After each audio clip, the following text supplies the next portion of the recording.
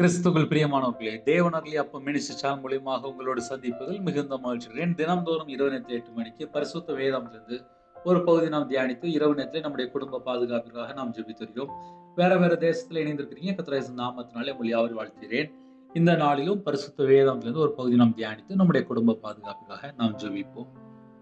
துன்மார்க்கன் நீதிமான் என்ற தலைப்பில் நாம் தியானிக்க போயிடும் நீதிமொழிகள் பத்தாம் அதிகாரம் இருபத்தி நாலாம் வசனம்.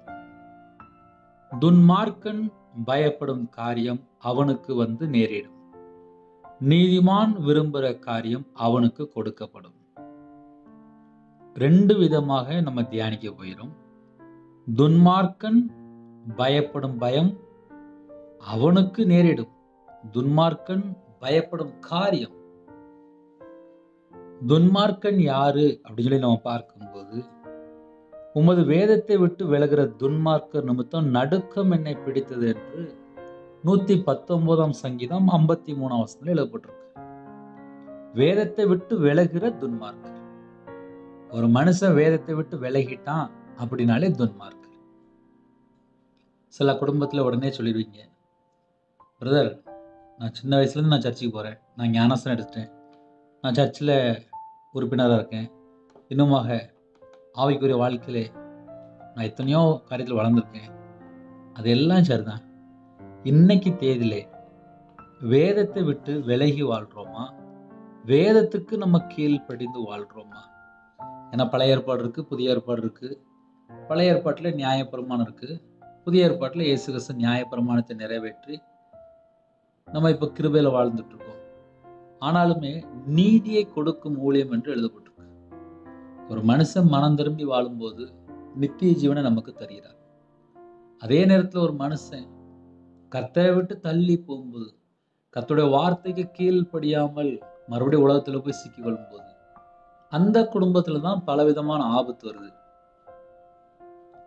ஞாயிற்றுக்கிழமை சர்ச்சுக்கு போகிறாங்க சாயங்காலம் பார்த்தா சிகரெட் அடிச்சிட்டு இருக்காங்க. நைட்டு பார்த்தா தண்ணி அடிச்சிட்டு இருக்காங்க.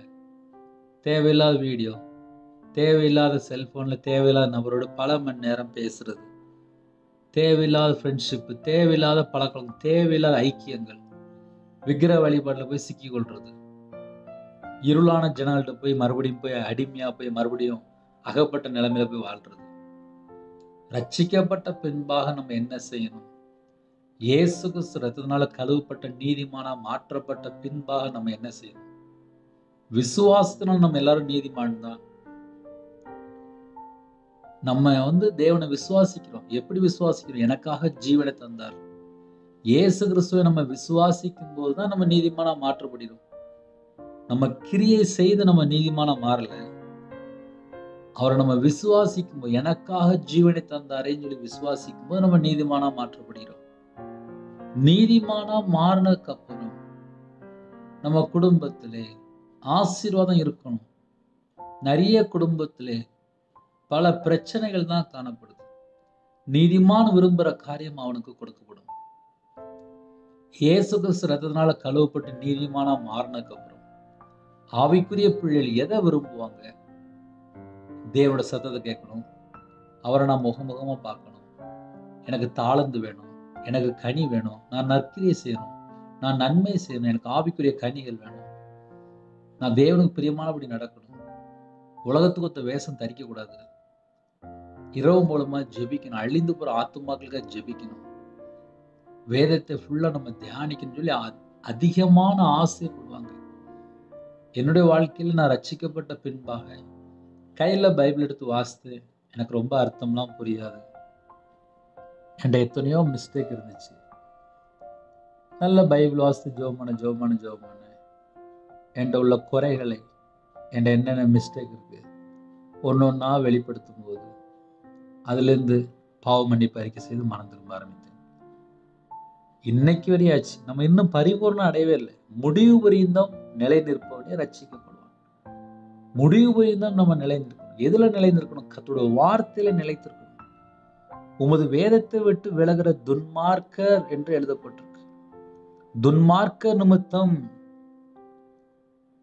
எனக்கு நடுக்கம் பிடித்தது. துன்மார்க்க நிமித்தம் நடுக்கம் பிடித்தது. அப்ப கடைசி காலத்துல என்ன நடக்கும் பல சூழ்நிலைக்கு மத்தியில தான் எத்தனையோ குடும்பத்தில் இணைந்திருக்கிறீங்க. சில குடும்பத்துலலாம் நைட் நேரத்தில் நிம்மதி இல்லை அதனால இணைந்திருக்கிறீங்க.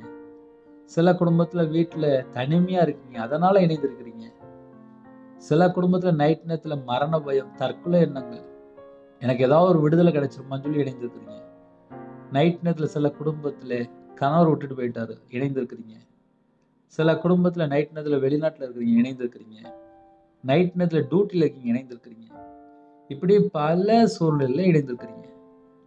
என்னுடைய வாழ்க்கையில் நான் பைபிள் வாசிக்காமல் துன்மார்க்கமாக வாழ்ந்த ஒரு மனுஷன் தான். கர்த்தருடைய வார்த்தைக்கு கீழ்ப்படி ஆரம்பிச்சு கொஞ்சம் கொஞ்சமாக தான் ஆசைப்பட்டேன். ஏன்னா முழு பைபிளை வாசிக்க எனக்கு நாலு வருஷம் ஆச்சு. எழுத்துக்கூட்டி எழுத்துக்கூட்டி தான் வாசித்தேன். பதினோரு வயசில் நான் வேலைக்கு போயிட்டேன். பைபிள் வாசித்தா புரியாது. எனக்கு மற்றவன் சொன்னாலும் எனக்கு புரியாது. நானாக எழுத்து கூட்டி வாசிப்பேன். கஷ்டப்பட்டு கஷ்டப்பட்டு தான் வாசிப்பேன். அப்படிலாம் வாசிக்கும்போது வசனத்தின் மூலியமாக என் தேவன் என்னோடு பேச ஆரம்பித்தார். நான் எங்கெல்லாம் மிஸ்டேக்காக இருக்கேன் எவ்வளோ குறையா இருக்கேன் கர்த்தரை விட்டு நான் எத்தனை காரியத்தில் தள்ளி போனேன் என்பதை ஆவியான உணர்த்த ஆரம்பித்தார். அது பிரகாரம் தான் மனம் திரும்ப ஆரம்பித்தேன் ஏன்னா வியாபாரத்தில் இருக்கும்போது நிறைய போய் பேசியிருக்கேன். லட்சக்கணக்காக கடன் இருந்துச்சு. மனைவிட்டு போய் பேசியிருக்கேன். கையில் பைபிள் எடுத்து வாசித்து பார்க்கும்போது பொய் பேசினால் நாசம் அடைவீர்கள் என்று வேதம் சொல்லுகிறது. அப்போ நான் கையில் பைபிள் எடுத்து வாசித்து பார்க்கும்போது பொய் பேசினா நாசம் அடைஞ்சிடும்னு சொல்லி எழுதப்பட்டிருக்கு என் வாழ்க்கையில் ஒரு ஐம்பது ஐம்பத்தஞ்சு லட்ச ரூபா காணும் அழிஞ்சிட்டு வியாபாரத்தில் சம்பாதிச்சு அழிச்சிட்டேன். எப்போ பார்த்தாலும் பொய் மனைவிட்ட போய் வியாபாரத்தில் போய் கடன் வாங்க போய் கொடுக்க இல்லைன்னா அதுக்கு போய் பொய் பேசி பொய் பேசி பொய் பேசியே அழிஞ்சு போன ஒரு ஆள். அப்போ வேதம் சொல்லுது பொய் பேசினால் நாசம் அடைவீர்கள். என்னோட வாழ்க்கையிலே கர்த்தரை விட்டு தள்ளி போன மாத்திரம் இல்லாமல் நல்லா பொய் பேசி இஷ்டம் போல வாழ்ந்திருக்கேன். வேதம் சொல்லுகிறது பொய் பேசும்போது தன் சொந்தத்தில் எடுத்து பேசுகிறான். சொந்தமா நிறைய டயலாக்லாம் அடிச்சு பேசுவாங்க. முடிவு என்ன? நஷ்டம். நடுரோட்டுக்கு வந்தாச்சு. கையில் பைபிள் எடுத்து வாசித்து பார்த்தா விசுவாசத்தினால நீதிமான் என்று எழுதப்பட்டிருக்கு.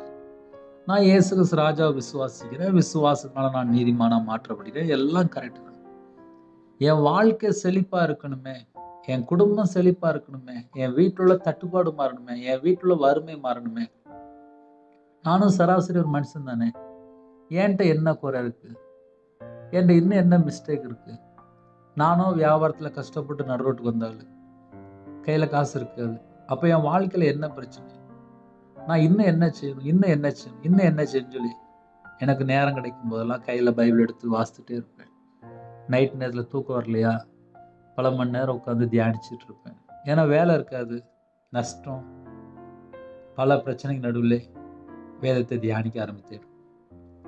அதில் ஒரு முக்கியமான பாயிண்ட் என்னென்னா பைபிள் வாசிக்கும் போது கிட்டத்தட்ட ஒரு அஞ்சு வருஷம் கண்ணீரோடு வாசித்த அனுபவம் உண்டு. பைபிள் வாசிக்கும் போதெல்லாம் ஆவியானவர் பேசுவார் இந்த வசனம் எப்படி இருக்கு? நீ எப்படி வாழ்ந்த? உடனே ஆவியானவர் பேசும்போது நான் மனம் திரும்பன்னு சொல்லி அர்ப்பணிப்பேன். இப்படியே மனம் திரும்ப ஆரம்பித்தேன். ஒரு மனுஷன் மனம் திரும்பும் போது தான் ரட்சிப்பு. தன் பாவத்தை அறிக்கை செய்து விட்டு விடும்போது தான் தேவரிடத்துல இறக்கங்களை பெற்றுக் கொள்கிறான் இன்று நிறைய குடும்பத்தில் கடமைக்கு ஒரு அஞ்சு நிமிஷம் பைபிள் வாசிக்கிறாங்க. கடமைக்கு ஒரு சின்ன ஜோகம் பண்றாங்க. இயேசு எப்படிப்பட்டவர்? அவருடைய நாமம் எவ்வளவு மகத்துவமுள்ள நாமம்? அவர் நமக்கு என்னெல்லாம் செய்து முடித்திருக்கிறார்? இன்னும் நமக்கு என்ன கிஃப்ட்லாம் வச்சுருக்காரு? ஆவிக்குரிய கிஃப்ட் என்ன பூமிக்குரிய கிஃப்ட் என்ன ஆசீர்வாதம் என்ன எவ்வளோ கிஃப்ட் இருக்குது இதெல்லாம் யாருக்கு? நீதிமானுக்கு. இன்னைக்கு நம்ம எப்படி வாழ்ந்துட்டு இருக்கோம் அப்படின்னு சொல்லி என்னைய குறித்து நான் யோசிக்க ஆரம்பித்தேன். நான் மற்றவங்களை சொல்றதுக்கு எனக்கு ரைட்ஸ் கிடையாது. என் வாழ்க்கையில் நான் இன்னும் எப்படி மாறணும்? என்ன செய்யணும்னு சொல்லி யோசிக்க ஆரம்பித்தேன். நான் துன்மார்க்கனா வாழ்ந்துட்டேனே கத்துடைய வார்த்தையை விட்டு விலகி வாழ்ந்துட்டேன் சொந்த வீட்டில் வித்துட்டு வந்துட்டேன் நடு ரோடு வந்துச்சு அவ்வளோதான் அப்போ என்னோட வாழ்க்கையில கத்தரை விட்டு தள்ளி போகும்போது எவ்வளோ ஆபத்து எவ்வளோ ஆபத்து எவ்வளோ ஆபத்து. அப்போ நான் தேவனோட வார்த்தைக்கு எப்படி கீழ்ப்படின்னு சொல்லி கையில் பைபிள் எடுத்து வாசிக்க ஆரம்பித்தேன். அதனால தான் பேசிட்டு இருக்கேன். உமது வேதத்தை விட்டு விலகிற துன்மார்க்கர். சின்ன வயசுல நான் பைபிளே வாசிக்கலை. ரெண்டாயிரத்தி பதினஞ்சு ரெண்டாயிரத்தி பதினாலு அதுக்கப்புறம் தான் பைபிளை வாசிக்க ஆரம்பிச்சேன். அதுவும் லட்சக்கணக்காக கடனில் இருக்கும்போது தான்.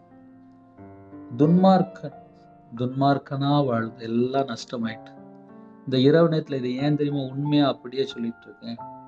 ஏதோ ஒரு குடும்பத்திலே நான் சர்ச்சுக்கு போகிறேனே நான் கிறிஸ்டியனாக தானே இருக்கேன்.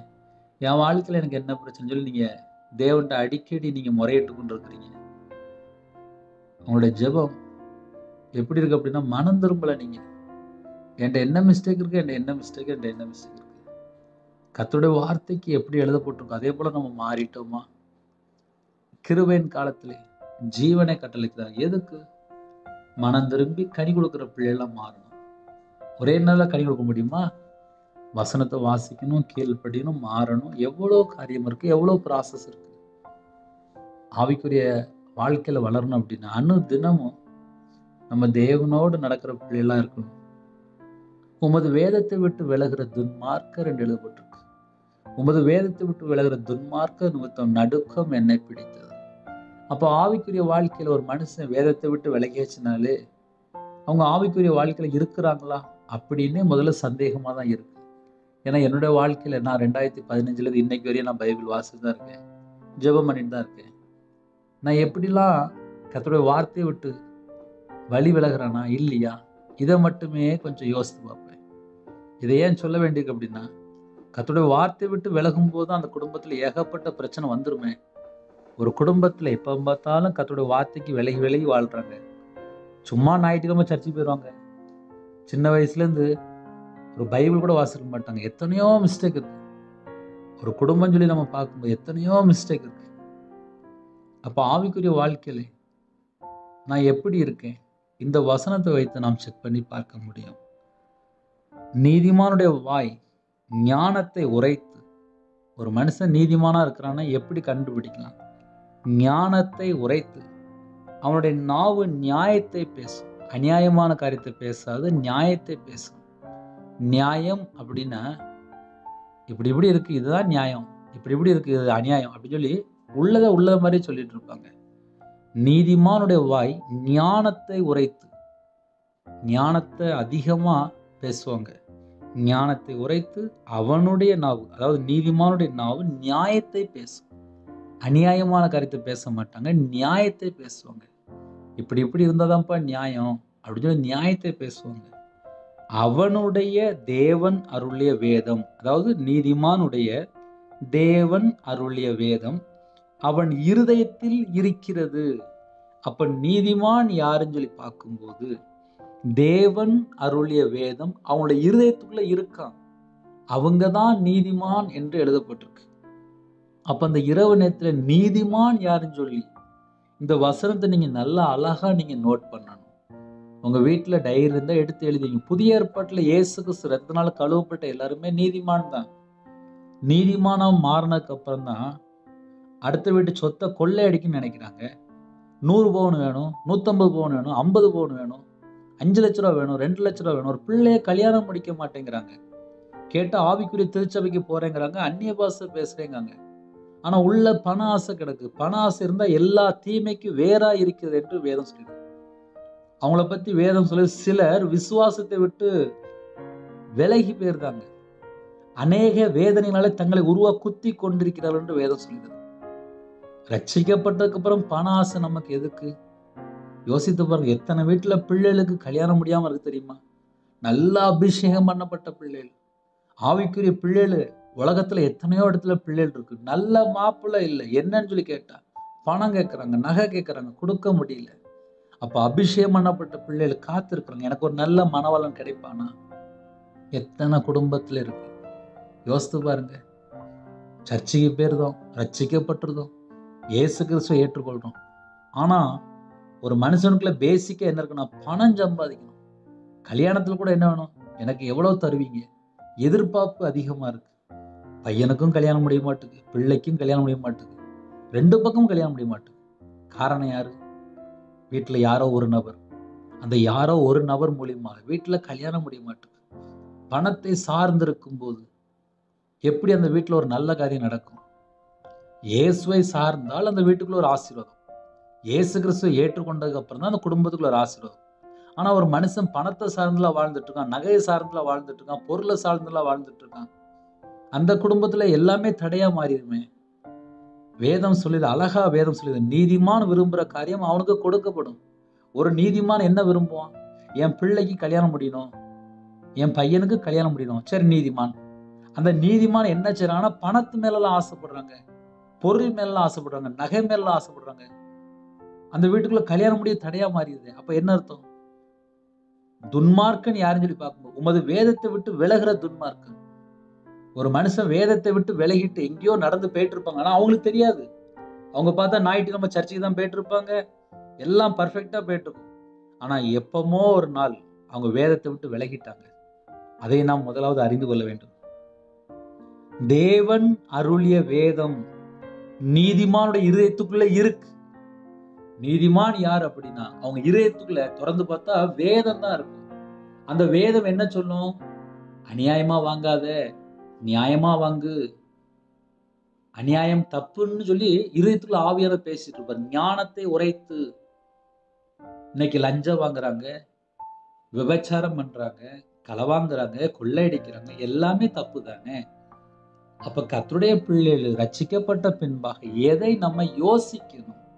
நீதிமான் விரும்புகிற காரியம் அவனுக்கு கொடுக்கப்படும் என்று எழுதப்பட்டிருக்கு. நீதிமானா இருந்தால் நீதிமான் விரும்புகிற காரியம் அவனுக்கு கொடுக்கப்படும். ஒரு சின்ன கேள்வி கேட்கனே இயேசுக்கு சிறதுனால கழுவப்பட்ட நீதிமான் தானே? நீதிமான் எதுக்குப்பா நகைய பணத்துல ரொம்ப ரொம்ப கேட்குறாங்க. ஒரு கல்யாணம் முடிவு விஷயத்துல. யோசித்து பாருங்க. எனக்கு நிறைய ஜப குறிப்பு வரும்போது பிள்ளைகளுக்கு கல்யாணம் முடிய மாட்டேங்குது. என்னன்னு சொல்லி கேட்டா பணம் இல்லை பிரதர் நகை இல்லை பிரதர் மாப்பிள்ளலாம் வந்துட்டு போகிறாங்க ஆனால் கல்யாணம் முடிய மாட்டேங்குது நல்ல ரசிக்கப்பட்ட குடும்பம் சொல்லி எதிர்பார்க்குறோம். ஆனால் வாராங்க பார்க்குறாங்க போயிருந்தாங்க எத்தனை வீட்டில் அம்மாமார் அப்பாமார் வயசான பாட்டிமார் பிள்ளைகள் எத்தனை பிள்ளைகள் ஜெபிக்க வரும்போது அண்ணே கல்யாணம் முடிய மாட்டேங்கண்ணே எனக்கு வயசு அதிகமாயிட்டு போகுது. எங்கள் வீட்டில் ரொம்ப கஷ்டம். நான் அபிஷேகம் பண்ணப்பட்ட பிள்ளை தான் ஆனால் எங்கள் வீட்டில் இவ்வளோ பிரச்சனை இருக்குது அப்போ என்ன அர்த்தம்? கிறிஸ்டியன் வேதக்காரங்க ஆவிக்குரிய பிள்ளைகள் ரச்சிக்கப்பட்டுட்டேன் நான் நீதிமானா மாறிட்டேன்னு சொல்லி நம்ம எவ்வளோ சொன்னாலும் இருதயத்துக்குள்ள பண ஆசை இருக்கு. பண ஆசை எல்லா தீமைக்கும் வேற இருக்கு எல்லா தீமையும் அங்க உள்ள இருக்கும்போது பிசாசு அங்கதானே இருப்பான். அவன் எங்க போவான்? இப்ப இருதயத்துல என்ன இருக்குன்னா பண ஆசை. பண ஆசை எங்க இருக்கோ அங்க எல்லா தீமை. அந்த இடத்துல சத்துரு உள்ள வந்துடும் அவிசுவாசமா நிறைய காரியம் உள்ள வந்துடும் நீதிமான விரும்புகிற காரியம் அவனுக்கு கொடுக்கப்படும். நீதிமானா வாழ்ந்து. நீங்க தேவனுக்கு பிரியமானபடி வாழ்ந்து. தேவனுக்கு பிரியமான காரியங்கள் கேட்டால் கண்டிப்பா தருவார்.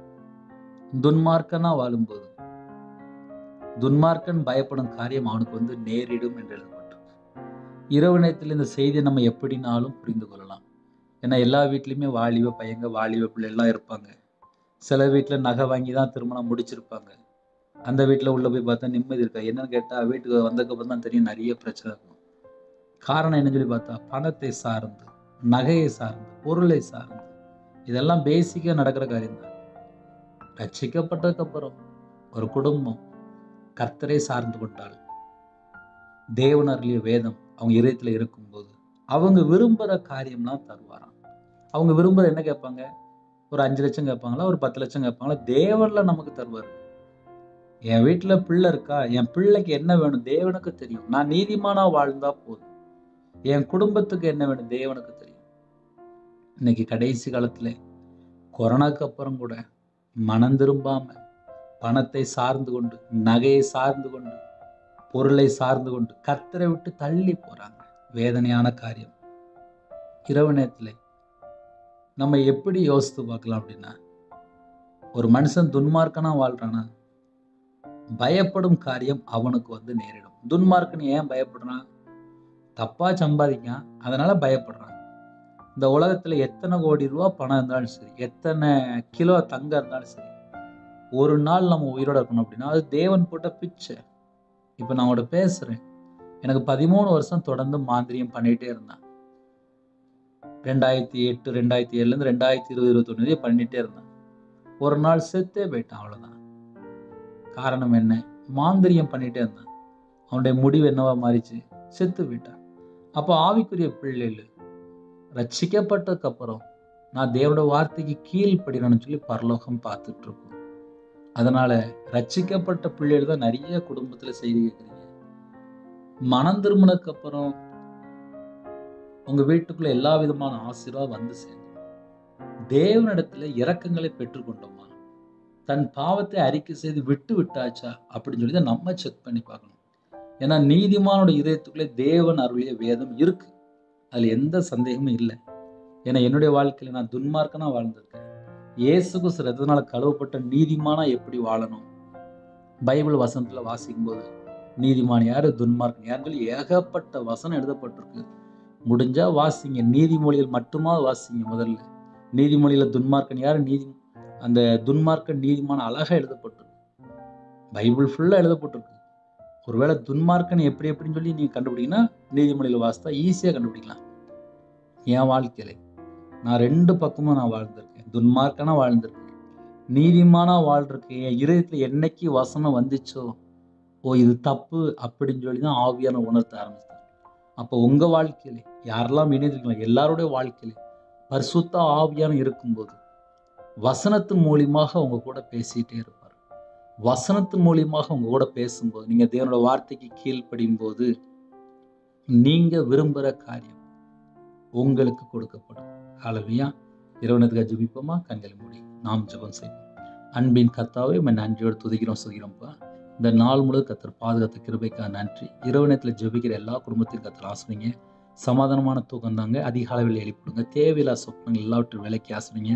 கற்பதனியாக ஜெபிக்கிறோம் கத்தர் மனமிறங்கி ஆசிரிங்க. மாசமா இருக்காங்க தாயும் பிள்ளை ஆசிரிங்க. டெலிவரி கொடுக்குறாங்க கத்தர் கூடங்கப்பா திருமண தேவைக்காக ஜெபிக்கிறோம் கத்தர் வாசல் திறந்தாங்க. ரட்சிக்கப்பட்ட குடும்பம் தாங்கப்பா. திருமணம் முடிந்ததுக்கப்புறம் டைவர்ஸ் அளவுக்கு பிரச்சனை ஓடிட்டு சந்தேகங்கள் சில குடும்பத்தை அடிக்கிறாங்க.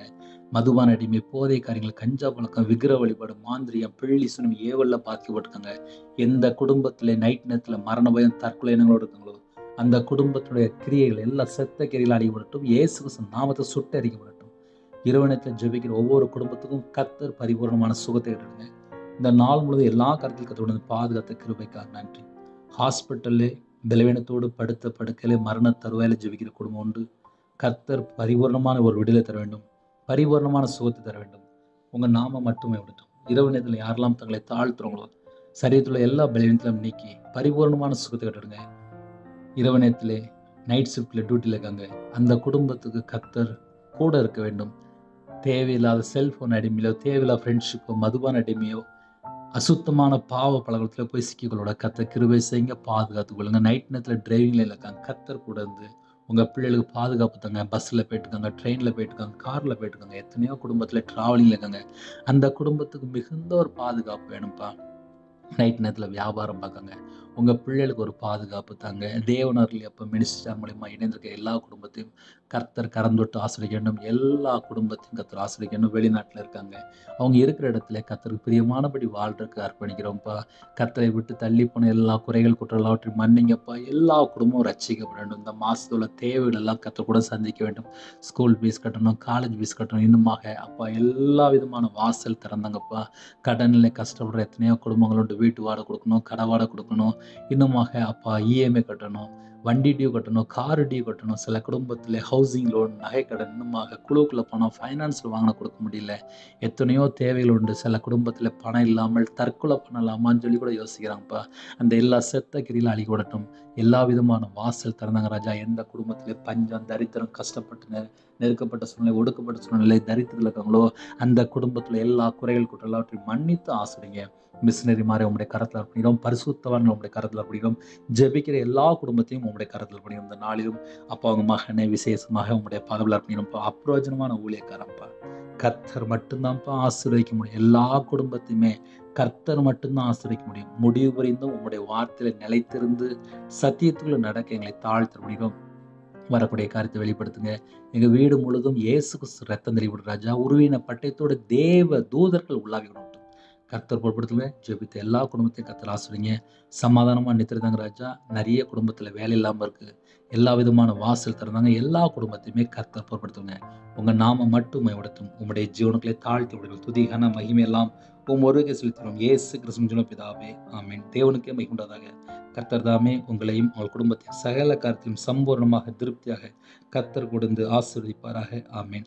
கர்த்தரா கிருபையும் பிதாவாகி தேவனோட அன்பும் பரிசுத்தனுடைய ஐக்கியம் இப்பொழுதும் எப்பொழுதும் சதா காலங்களிலும் நம்ம கொடுப்பதாக ஆமீன். கிறிஸ்துவ பிரியமானவர்களே வசனத்தை கேட்கும்போது கர்த்தர் உங்களோடு பேசியிருப்பார். எங்களுடைய ஊழியக்காக தொடர்ந்து ஜெபித்து கொள்ளுங்கள். அது மாத்திரமல்ல தொடர்ந்து இணைந்திருங்கள். அதிக அளவில் ஜெபிக்கிறோம். அதையும் தொடர்ந்து கேளுங்கள். Nine three six three zero six four one eight one number தோன்றால் நாங்களும் உங்களுக்காக ஜெபிப்போம். நீங்களும் எங்களுடைய ஊழியருக்காக தொடர்ந்து ஜெபித்துங்கள் கத்தர் உங்களையும் உங்கள் குடும்பத்தின் சகல காத்திலும் சம்பூர்ணமாக திருப்தியாக ஆசீர்வதிப்பாராக. ஆமேன். கத்ராயின் கிருபையும் பிதாவாகி அன்பும் பரிசுத்தருடைய ஐக்கியம் இப்போதும் எப்பொழுது சதா காலங்களிலும் நம்மளோடு கொடுப்பதாக ஆமேன். God bless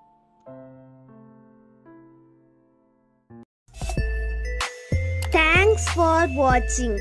Please subscribe our channel. Click the like and share. Click the bell. God bless you.